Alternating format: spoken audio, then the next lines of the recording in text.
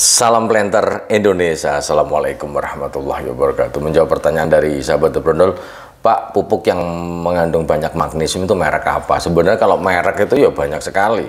Namun sebelum kita ngomongin mereknya, kita harus jelaskan dulu bahwa namanya magnesium berfungsi salah satu untuk kelapa sawit adalah penyusun klorofil pada tanaman kelapa sawit.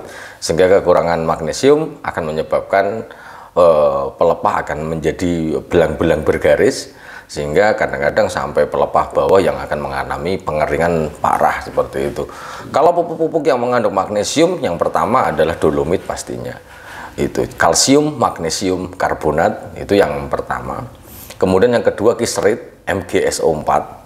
Kemudian ada juga magnesium itu ter terdapat pada NPK juga yang biasanya pada 12, 12, 17, 2 yang artinya 2% magnesium oksida atau 13, 8, 27, 4 plus 4, 4 ini adalah 4% MGU. Sehingga kalau ngomongin merek ya banyak sekali mereknya.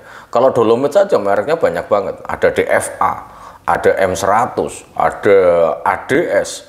Itu yang mana bahwa kalau kita ngomongin dolomit monggo saja semakin lembut adalah semakin baik itu yang paling penting. Kemudian kalau kiserit ya mereknya banyak banget. Ada Solumak, ada ada kisrit apa kiser Jerman. Nah ini yang banyak. Ataupun sekarang yang banyak beredar di masyarakat adalah kisrit lokal yang berasal dari Aceh. Ya ini juga bisa digunakan.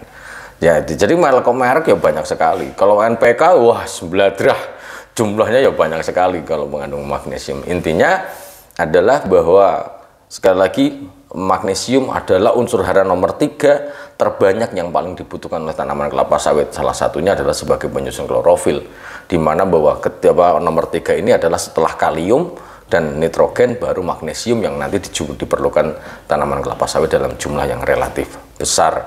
Sehingga walaupun apa ya sekali setahun dolomit tetap harus diberikan.